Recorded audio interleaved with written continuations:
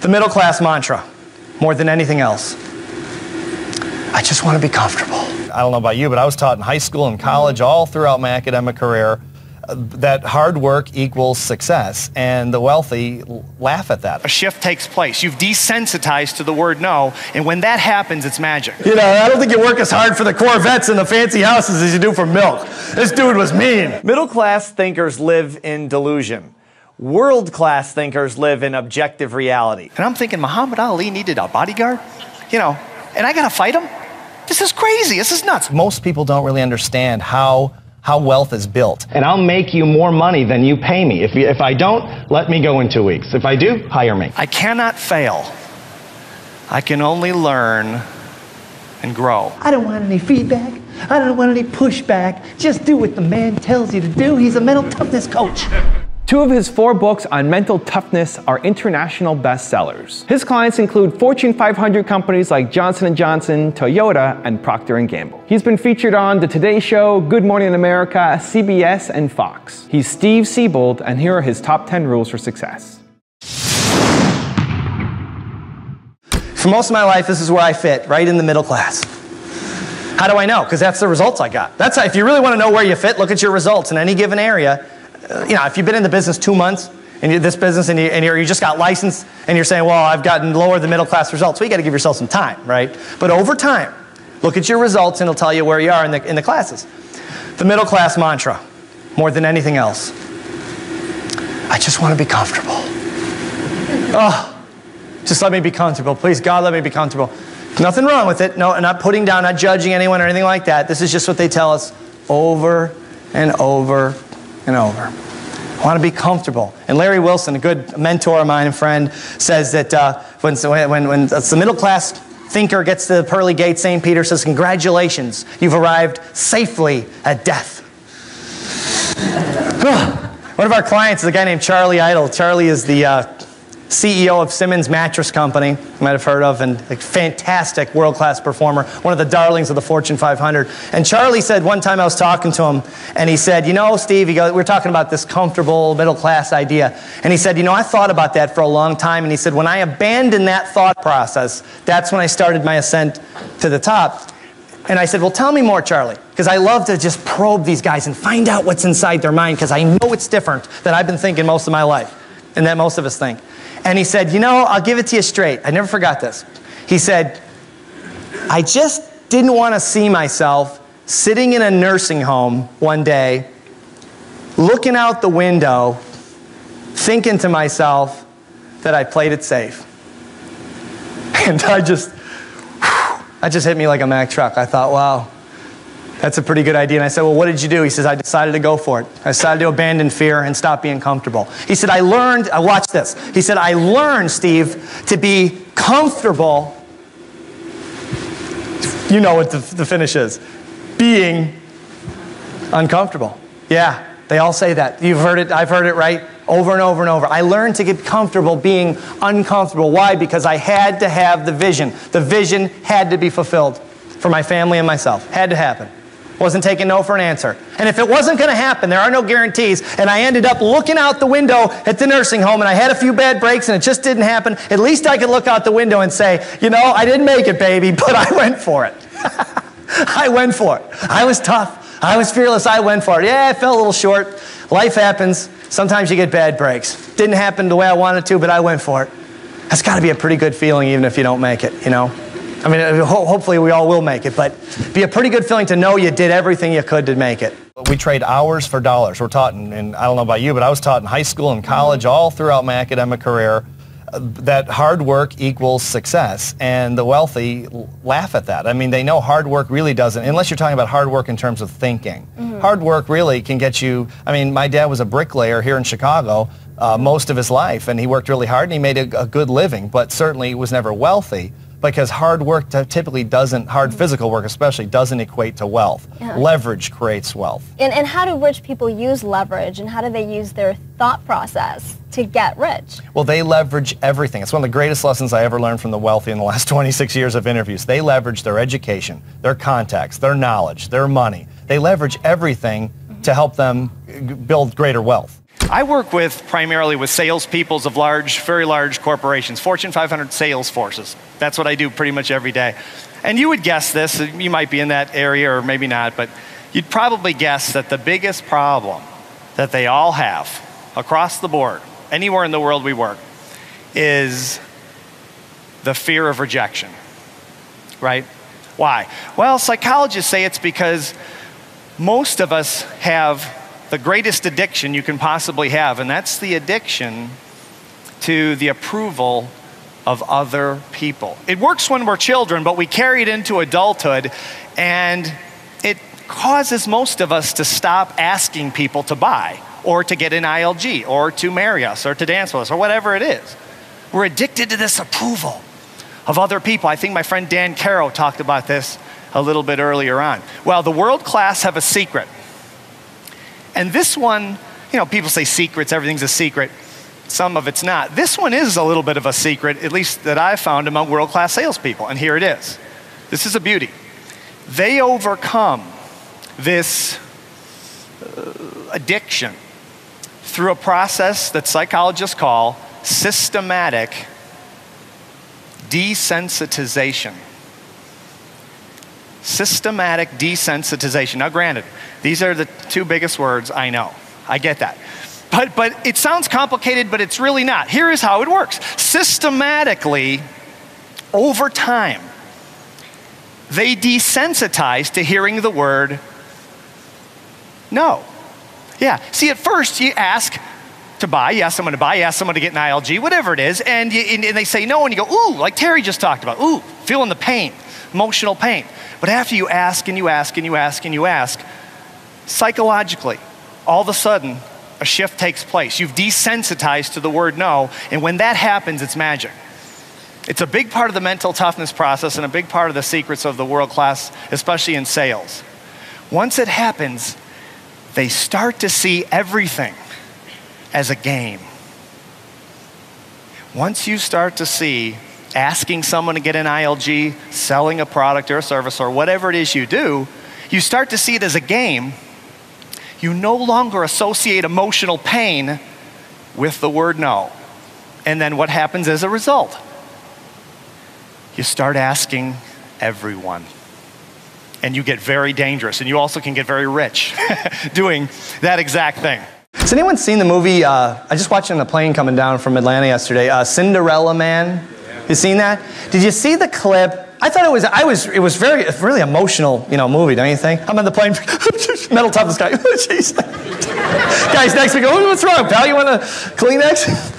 Jeez, you know, it was a tough movie. But the part I liked the most was was makes this point just beautifully, and I'd never, I had never seen it before.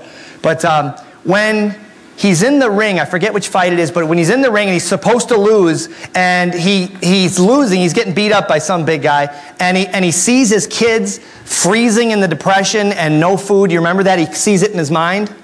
And he, then he wins the fight because it drives him because he's thinking, I got to fight to keep the lights on. And the, the, this is 1930s, right? During the Great Depression. My kids are starving and I have no heat. And he's living in New Jersey. And he flashes, if you haven't seen the movie, he flashes this on his mind. He's in, the, he's in the ring, he's sitting there going ready to go back in. And he's sitting there and he flashes this picture of his kids and they're freezing. And they were, this is the truth, this is what was happening. He couldn't afford to pay his light bill, I mean, his, his electric bill. And he saw it. So he came out there like King Kong. And the, ne- the next day in the press, this is a true story. In the press conference the next day, they said, uh, one of the reporters goes, oh, uh, I'm trying to remember his name. What was his name? The, the what was his name? The, the fighter. J- yeah, J- James J. Braddock, thank you. Uh, so they're in the press conference, and someone says, Oh, Mr. Braddock, uh, I got a question for you. Go ahead. What happened to you? Three years ago, you couldn't fight, uh, you know, you couldn't beat up anyone. I mean, what happened? And Braddock said, A mentally tough thing that all these world class performers have. This is, the, this is the golden secret of this process, you guys, I promise you. He said, Now I know what I'm fighting for. And he said, what are you fighting for? And he said, Milk. Silence in the room. Because a couple days before, he picked up the milk, you know, they delivered the milk back then, right? And it had the overdue notice on the bottle. So it couldn't pay the milk. Kids can't have milk. I'm fighting for milk. You want to go up against the guy who's fighting for milk? I don't want to. I don't want. That's a mean, a mean dude, man. You know, you know. I don't think you work as hard for the Corvettes and the fancy houses as you do for milk. This dude was mean. He wasn't taking no for an answer, and he didn't. It's a heck of a story. If you haven't seen it, Cinderella Man, it's a great movie. It's very moving emotionally. But that's what it is, I think. That's what I found anyway. Most people don't know why they're running in the house. So why should I fight? The enemy of the champion is delusion. Middle class thinkers live in a state of mild delusion, especially when it comes to their careers. The average person believes they are far more competent at what they do for a living than they actually are. Many people believe they are overworked and underpaid, and this is rarely true. In a free market economy, we are normally getting paid very close to what we're worth. Employers aren't stupid. They're not going to pay $100,000 a year for a job that's only worth 75,000. If they did, uh, they wouldn't be in business very long. Compensation is based on supply and demand. So if you're not getting paid what you believe you're worth, you're always free to lease your professional services to another organization. Here's my point, and this may be offensive to some of you, but remember that this is mental toughness, not Club Med, okay? Middle class thinkers live in delusion. World class thinkers live in objective reality. The world class thinker knows that her compensation is directly related to the number or size of problems she is solving for an organization. If she wants to make more money, she asks for the opportunity to solve more problems or larger, more complex problems. And that's all there is to it. Champions take full responsibility for their results, and that includes the compensation they receive for the work they do. So, the first step in the process of becoming a world class performer and catapulting your compensation is to get into objective reality in regards to how much the services you perform are really worth. The secret is to remove all emotion from this thought process and see what you do for a living strictly from the eyes of the people who pay you to do it. The first critical thinking question to ask yourself is how difficult would it be to replace you? The second question is how much would it cost to replace you?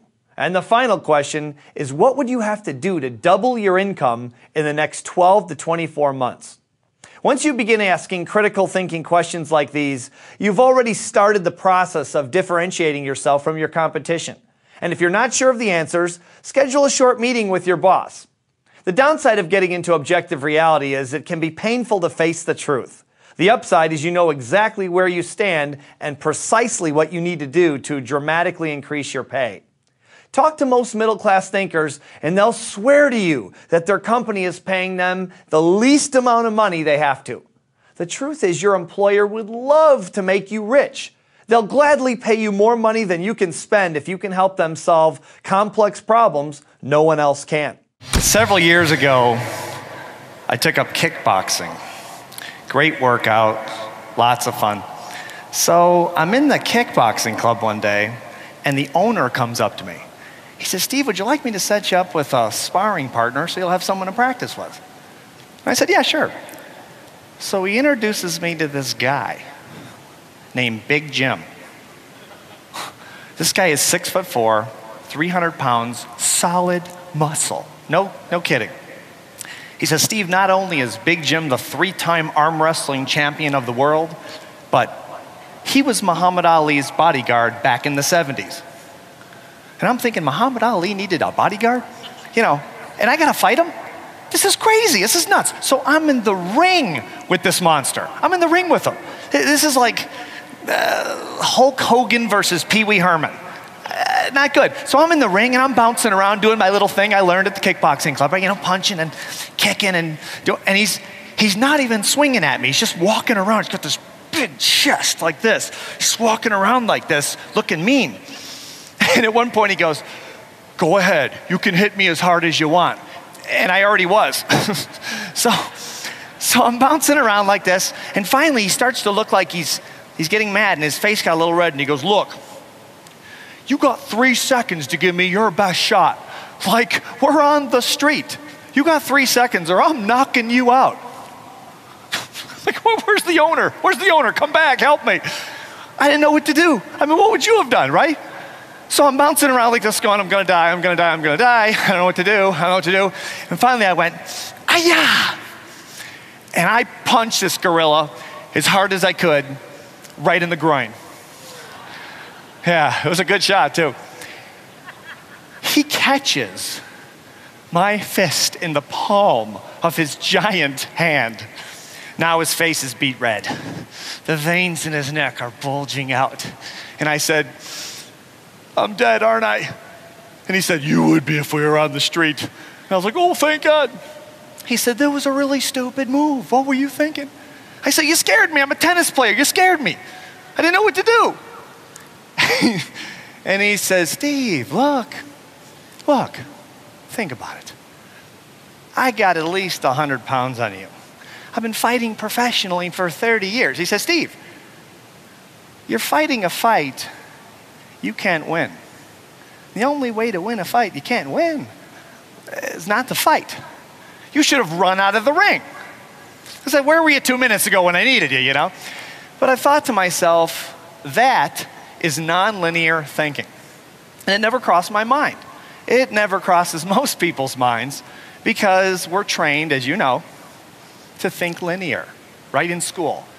A, B, C. One, two, three. Linear thinking. When we all know the big problems of the world are really solved with non linear, big thinking. It's one of the great secrets of the world class I learned in 25 years of interviewing these people all over the world. Keep an open mind. Keep an open mind and, and, be careful who you're associating with because most people don't understand how money works. Just, just the thinking about money work. And again, I, I didn't either. I'm not standing from, you know, talking from an ivory tower. I didn't get it either. But when, most people don't really understand how how wealth is built. Mm-hmm. And so start listening to wealthy people. Open your mind and start listening to wealthy people and associate with them through books, seminars, CDs, whatever you possibly can to get to get uh, exposure to their consciousness. All right, so if you're stuck in the middle class role, how do you change your mindset to get into the world class role? Well, that's that's exactly what I did 26 years ago, and I started the process. I think first of all, you have to you have to learn how rich people think and how it's very different than the average person. And after again all these interviews all over the world, it's like these two groups are living on different planets. I uh-huh. mean, they operate in a completely different mind space. Yeah. Well, and and sometimes it seems seems like uh, when when you're struggling uh, to make money, it seems like you're always struggling to make money. And uh, you say that, that that is just a repetitive behavior, uh, typical in the middle class, right? Sure. It's like right now, the unemployment is so high, and people are thinking, "I want a job. How can I get a job?" But there are no jobs. Mm-hmm. The rich would think think like a rich person instead. Now, the rich don't need jobs, but but if they did need a job, I'll tell you exactly what they would do because I know so many of them. Uh-huh. They would go to a, a store and say, "How can I make your cash register ring? You don't have to pay me for the first two weeks. I'll sell. I'll do customer calls, I'll stock shelves. It's better than sitting at home. And I'll make you more money than you pay me. If, if I don't, let me go in two weeks. If I do, hire me. I cannot fail. I can only learn and grow. I cannot fail. I can only learn and grow. And I got that one from our fellow ILG faculty member, Superman himself, Larry Wilson. I interviewed Larry many years ago, and he said, Steve, there really is no failure. He said, it's all a stepping stone to the next level. I didn't get it at the time. I get it now, I think. I get it. I got a call from a company on Wall Street. And I had, it's a, it's a, it's a, uh, a very fast growing, one of the fastest growing companies on Wall Street. And the interesting thing about it to me is that they make a lot of money and they're growing super fast, but the average age is about 25 as far as their salespeople go. And they're just hungry. They're just like you guys. They're hungry, they're young, and they just don't take no for an answer. So they called me and asked me to keynote, do a keynote speech at their national convention in Atlantic City a couple years ago. So I did it, had a great time. They were 300 of their top salespeople qualified for this deal. And it was, it was just a group about this size, as a matter of fact. Fantastic. Great people, a lot of fun. And I never heard from them again. That just, I just did a speech, and that's what they wanted. So uh, I get a call from the president, who's 39 years old. He's a self made billionaire, 39 years old, started from scratch. Nice guy, tough as nails, mentally tough, focused like you can't believe. He calls me up and he says, Steve, I got a problem. And I said, uh, okay, what's happening? He said, well, I'll tell you what, since Atlantic City, baby, oh, we're making money. Oh, it's good. I mean, I got 300 of the richest salespeople on Wall Street, and we're cranking, man. It's just going really well. I said, All right, what's the problem? I mean, it sounds pretty good to me. Why do you call it? He said, I have 25 year old salespeople going to the emergency room with chest pains. He said, You're the mental toughness guy. Uh, can you help? And I said, I don't know. I don't know. Let me think about it. I'll get back to you. So I'm driving home from the office that night to my house, and, and, and, Einstein's quote came into my head A problem cannot be solved at the same level of consciousness or thinking in which it occurs. So I thought, okay, these salespeople are going to the emergency room because they're, they're putting this pressure that we talked about earlier with the balloon, right, on themselves. It doesn't exist in the universe, but in their minds, it exists. Perception is reality. Yeah. So I know it's a very low level of consciousness, but they can't see it. Can't see the forest for the trees, like Einstein talked about. So I thought, okay, I've got something. Called Michael back the next day. I said, I think I got an answer for you. Didn't even ask me what it is. He says, Great, I'll see you in New York. It's just that's the way the guy is. He's amazing. So I went to New York and I went to their office. 300 of their top salespeople. And you have to sort of see this office to believe it. It's, uh,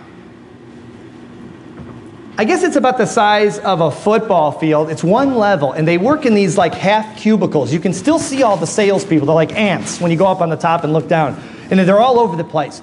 And you can see them all, but it's like one floor, and it's like the most intense thing. They have this big alarm that goes off when the market opens, and they start selling, and they sell by phone. And this is kind of what it sounds like. It's the best I can do. They work with these headsets, and they have these appointment setters, I guess you call them, up on these risers, and they, they say, okay, I've got John Smith on, on line six, go. And they wear these headsets like this, and they, and they pace like, like tigers in a cage. It's, it's, it's why you got to see it to believe it.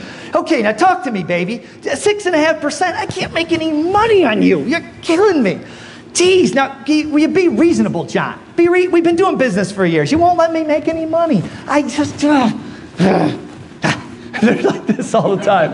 And they're good, but they're intense. They're tense. so I came up with this idea, this crazy idea. So Michael gets up there, the president, and he says, All right, you guys, fall in, fall in. the same size as crowd as you guys. And they're all standing by their cubicle. They got the Armani suits on, the Gucci fancy whatever suits, and the alligator $2,000 shoes, and the fancy dresses, and the whole. And they're standing there looking at me. Now, I knew them from Atlantic City, but not all that. They look like they might attack at any time. I wasn't sure. A little worried about that, but they're standing by their cubicles. And we're right before the market opens. And they're looking at their watches. And Michael goes, All right, you guys, fall in. He said, Look, I'm not going to waste any time introducing Steve Siebold. You already met him in Atlantic City. This is how they talk. You already met him. So let's not waste any time. Just get to it. Here's the bottom line I don't know what he's going to tell you because he hasn't even told me. But this is, this is at the, at the end of the day, this is what it is, you guys. I don't want any feedback. I don't want any pushback. Just do what the man tells you to do. He's a mental toughness coach. Just do what he tells you to do. I, I, and, and he's just pointing people out. You, you, just do what he says. Especially you. you. and then he goes, All right, Steve, you're on.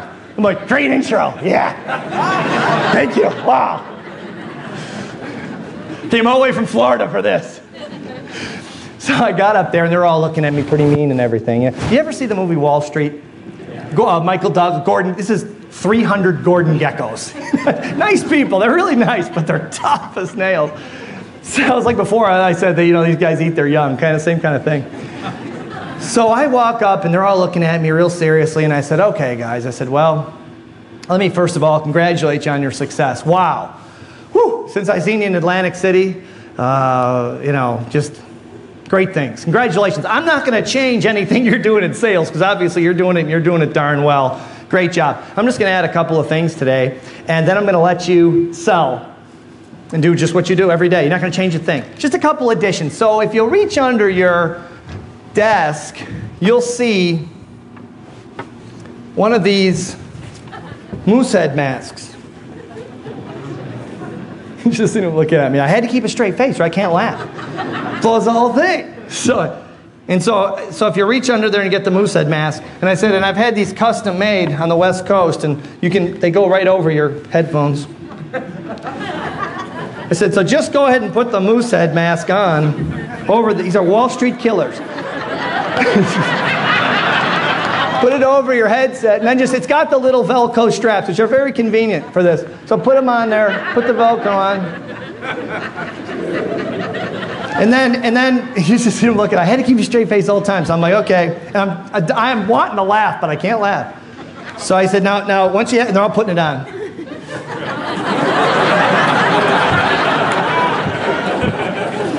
they didn't say anything though yet. So, so I said, all right, now, now one of the things is you have to pull the, the top down because it's important that you see the little eyes. That's very important. You got to get the whole effect here. So pull those down, and all of a sudden one of them said, Michael, what's the deal? Come on, what is this? And Michael jumps up. He goes, guys, I told you. Listen to what he says. And he had the mask on too, so it added a lot to it. Flopping around. and I gotta keep a straight face. So I'm back there going, don't laugh, Steve, don't laugh. Mental toughness, control. Don't laugh. so, so I said, all right, you guys. Okay, go ahead, Steve. So I said, all right. Everyone have it on? Okay, it looks good. Those look good. Just keep the antlers up. That's good. And they're all looking at me. So if you reach in your front drawer, just one other thing I'll let you guys sell. I don't want to stop your selling here. There's one of these clown noses. And it's a, it's a, it's a, it's a one size fits all, which is convenient. So just put the nose on. Keep your ears up. Gotta keep the ears up. That's you gotta have that. So, and that's it. They're all looking at me. I can't laugh. So I said, that's it. Just do what you do all day long. Don't change a thing. All you have to do is just keep the, the, the, the antlers on and the nose. We'll debrief at 4 o'clock when the market closes, and we'll go from there. Good luck. Go sell something. And you guys, without even missing a beat, Get John Smith online too. Let's go. They forgot all about it. Okay, now come on. Can we do some business here today? Because you're killing me, man. I mean, I don't know. I don't know why I came into work. I can't make any money on you. Uh, Jeez. And all of a sudden they'd break, they'd look out and they'd see the antlers going across the office. And they just break out laughing and be like, I'm sorry. No, I'm not laughing at you, John. I, I'll call you back. I'll call you back. I'm sorry. I'm not laughing at you. This went on for eight solid hours. It was one of the funniest things I have. I should have brought these guys, the film crew, with me. I should. I didn't film it, but I should have. Can you imagine? I could have sold it on television. It'd been uh, the new reality show. Wall Street, the reality, or something like that. So at the end of the day, I, uh, we did the debrief. They went through the whole day with it, and they kept it on. They did exactly what I asked them to do. At the end of the day, we had them up here, and they were standing. I said, "All right, you guys, great job today. What did you learn?" Remember, young group, all under 40 years old salespeople, most of them in their 20s. And uh, like some of the people here, as a matter of fact. So, little guy in the back of the room, maybe 21, 22 years old, raising his hand like this. I said, Go ahead. And he said, I got it. I got it. Message received. I said, Okay, what'd you, what'd you get? He said, We got to lighten up. We got to lighten up. I mean, yeah, we're all making all this money and this is all fantastic and we're living our dream and hey, great. It's not worth dying in the process for. Let's lighten up and still be successful and not die, not go to the hospital with chest pains. It's not worth it. Let's remember to lighten up. Message received, thank you. And I said, there it is. That's the end of it. Debrief over. I said, so here's what I want you to do as you go forward. Just take this mask. Don't change anything you're doing, obviously, with your selling, but take this, this mask and put it on the corner. we just lost South America down here.